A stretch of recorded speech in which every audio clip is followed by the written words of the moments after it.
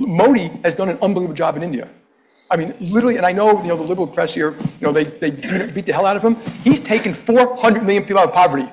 आप में से कई लोगों ने मुझे इस गोरे की क्लिप भेजी जिसमें बोल रहा है कि मोदी सरकार ने 40 करोड़ लोगों को गरीबी से निकाल लिया अब आईटी सेल वालों को ही लाइफ बोट मिल गई है तो वो क्लिप को चलाए जा रहे चलाए जा रहे हैं नोट करो अगर यही बंदा बोल देता कि मोदी डिक्टेटर है फैशिस्ट है तो ये लोग कहते तुरंत बोल देते कुछ भी नहीं देखते कहते साजिश है हमारे खिलाफ देश के खिलाफ साजिश, इसकी कोई क्रेडिबिलिटी नहीं है। पर जहाँ इस बंदे ने बोल दिया कि 40 करोड़ लोगों को गरीबी से बाहर निकाल दिया तो इनको चेक करने की भी ज़रूरत नहीं पड़ी कि इनके खुद के नेता क्या बोल रहे हैं। अब राजनाथ सिंह को देख लो क्या बोल रहा है कि मोदी सरकार ने 25 करोड़ लोगों को गरीबी से बाहर निकाल दिया। ये मार्च 2024 की रिपोर्ट है। अमित शाह को देख लो, वो कह रहा है साठ करोड़ लोगों को गरीबी से निकाल दिया मोदी सरकार ने। मुझे लग रहा है जेपी मॉर्गन वाले ने एवरेज कर दिया होगा दोनों फिगर्स का। मोदी खुद कह रहा है कि मैंने 25 करोड़ लोगों को निकाल दिया गरीबी से बाहर, और अब आप हंस हंस के लोटपोट हो जाओगे।